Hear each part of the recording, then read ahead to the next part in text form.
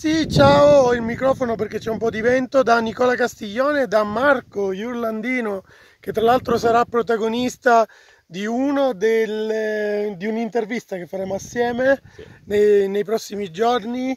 Ci svelerà un po' di segreti, un po' della sua vita, le aspirazioni, questi team di Formula 1 che lo stanno aspettando per eh, accoglierlo, ha già fatto dei colloqui, cioè ci sono un po' di storie molto molto carine da raccontare. Però avrete capito già dove ci troviamo, in pista, ve lo faccio vedere alle mie spalle, ma siamo qui per commentare le prove libere 2. Prove libere 2 che eravamo in macchina, sia io che Marco, quando, perché ci stavamo spostando qui per girare eh, di, di sera, perché con queste temperature così alte non si può fare altrimenti e prove libere 2 che quando ha sbattuto Charles Leclerc ci siamo subito telefonati da una macchina all'altra esatto. allora come, come, hai visto queste prove fai tu una prima analisi sei l'ospite quindi vieni prima e poi io dirò la mia sì allora innanzitutto ancora una volta buonasera a tutti. Ehm, allora, le prove libere, le prove libere 2 abbiamo, abbiamo visto che partirei dall'errore di Leclerc, poi magari tu approfondisci meglio, un errore un po' di testa più che di piede, un errore eh, evitabile nel, dopo 15 minuti dall'inizio delle prove libere 2.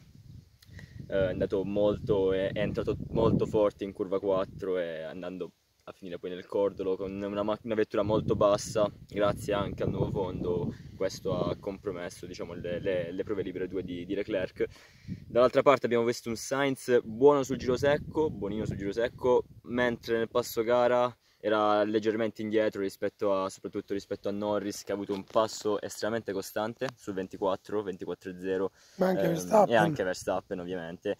E invece Sainz ha avuto molto più degrado rispetto a loro e quindi questo è Verstappen dall'altra parte, a quanto abbiamo visto, ovviamente sempre dalla macchina, quindi a grandi linee, ha avuto un po' da ridire sulla vettura, soprattutto l'anteriore, e si sentiva non troppo confidente con la vettura.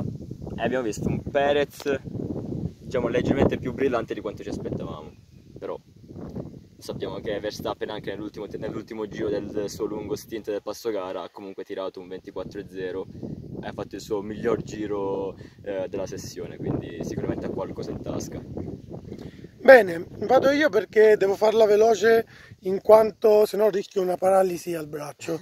Allora, iniziamo da Casa Ferrari. Casa Ferrari, io, io spero che voi ci vediate bene eh, perché noi non vediamo quello che stiamo inquadrando in quanto c'è il riflesso, o, o, per meglio dire si vede male. Poi spero che ci sentiate bene perché c'è un po' di vento, stranamente non si è mosso un alito di vento, ma in questi giorni però si è sparsa la voce che dovevamo fare il video e quindi immediatamente si è alzato il vento. Però dai, cercheremo di fare una buona analisi anche questa volta perché eh, come ha detto Marco le abbiamo viste guidando, le abbiamo viste in macchina, quindi non è il massimo della vita, poi soprattutto Marco ogni volta è come se avesse un ufficio della NASA pieno di, di strumentazione, mi ha fatto vedere delle robe incredibili, ma del resto eh, altrimenti non, non, saremmo qui a discutere di Formula 1 con lui e, e sul suo futuro, perché io sono sicuro che lo troveremo presto in un ottimo team in Formula 1. Comunque, detto questo, iniziamo da Leclerc. Allora, in tutta onestà, tienimi un attimo il microfono perché cambio mano. Qua ci dobbiamo arrangiare anche perché sono veramente un pirla, perché mi sono dimenticato il cavalletto a casa, nella fretta di partire. Allora, in tutta onestà, io sono sincero, no? Sai cosa ho pensato? Ho pensato, se fosse stato un mio pilota, oggi, qui, in pista, come avrei reagito? Volete sapere la verità? Io non dico mai parolacce, ma mi sarei incazzato di brutto.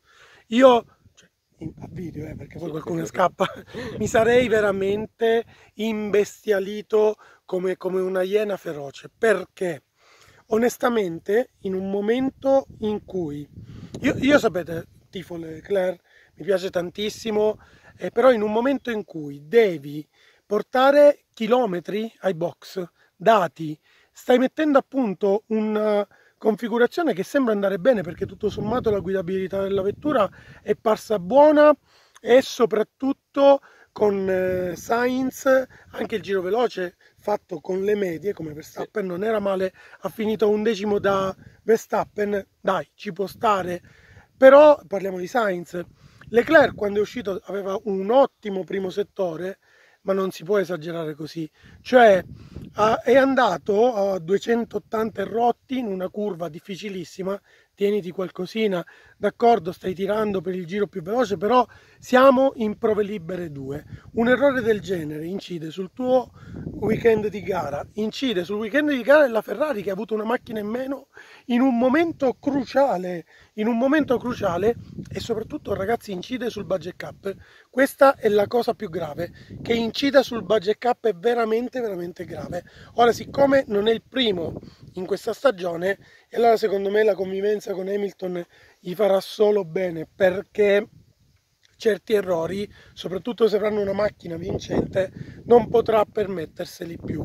Io onestamente sono un po'... lo ero già a Miami, lo ero già a Miami, poi l'errore dell'Austria non l'ho visto, però qui sono veramente un po' adirato con lui, tieni qua che devo cambiare braccio, sono un po' adirato con lui perché è un errore che non, non puoi permetterti in un weekend così delicato dove la Ferrari si gioca il ritorno nelle posizioni che contano. Poi il passo a gara, come hai detto tu, è stato abbastanza indecifrabile, proprio anzi, se dobbiamo essere sinceri, ottimi in PL1, ma sì, scarsissimi sì. con il solo Sainz in PL2, però non c'è il paragone dell'altra macchina, non c'è il lavoro differenziato, quindi si sono persi dei dati importanti a causa di un errore che secondo me era molto molto evitabile, anche perché è un errore di foga, poiché è avvenuto nel punto più veloce, nella curva più veloce della pista, curva 4. Quindi quando, ho notato che quando tengo con la, de, con la sinistra tremo un po' lo schermo, ragazzi, scusatemi.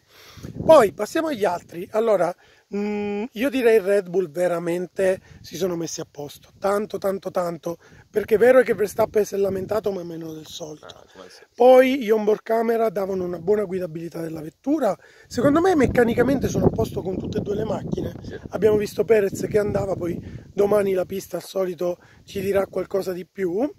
E, però la, la Red Bull secondo me con questo aggiornamento, che non è detto che dobbiamo vedere un aggiornamento che migliori la vettura di tre decimi, può migliorare anche la guidabilità e, e abbiamo visto come il passo stavolta era veramente buono di, di Verstappen allora secondo me Red Bull è, è, tanto tornata in corsa e non sapete quanto auguro di sbagliare questa analisi, cioè mi auguro di sbagliare questa analisi, ma veramente me lo auguro con tutto il cuore, ma credo che non sia così, giriamoci un po' più verso il sole che siamo meglio illuminati anche se più accecati, perlomeno io, tu hai gli occhiali. Poi McLaren sempre presente, ecco la definirei così, ha fatto il miglior tempo con Norris però con le soft. Sì e invece Piastri è andato lungo. Piastri ha danneggiato il, so- il, fondo nella stessa curva di Leclerc e per quel che riguarda eh, il miglior tempo, due decimi a Verstappen, ma con una mescola di differenza. E poi c'è l'incognita delle Mercedes che in queste PL2 sono sembrate un po' anche loro indecifrabili, come la Ferrari di Sainz. Non si è ben capito quanto fosse su di motore, giù di motore, perché in PL1 tu mi hai detto che erano su, Ferrari, quindi eh, vediamo poi in PL2 come sono andate. Ti è che cambio mano ogni tanto ragazzi, eh, che ci volete fare? La tecnologia questa è. E, e quindi questo. Questo è come abbiamo visto noi queste prove, Perez redivivo, però al solito poi vediamo nei momenti che contano.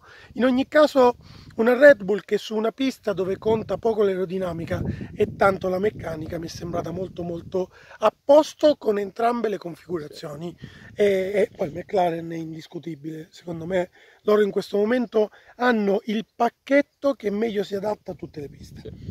Questa è la mia analisi, vuoi aggiungere qualcosa?